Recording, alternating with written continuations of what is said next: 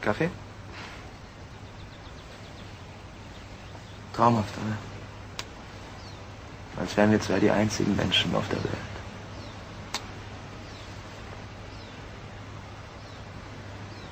Oder findest du nicht? Was? An was denkst du? Ein gar nichts. Hey. Wir hatten uns was vorgenommen. Einen Tag lang alles vergessen. Also schön. Was soll ich denn zuerst vergessen? Dass gestern der Protest gegen Tanja war oder dass ich sofort die Kündigung bekomme, wenn mein Chef uns hier sieht oder dass... Alles. Und zwar sofort. Schon passiert. Ich will gar nicht mehr nach Hause. Am liebsten will ich die ganze Zeit hier bleiben mit dir. Meinst du, das geht? Alles geht.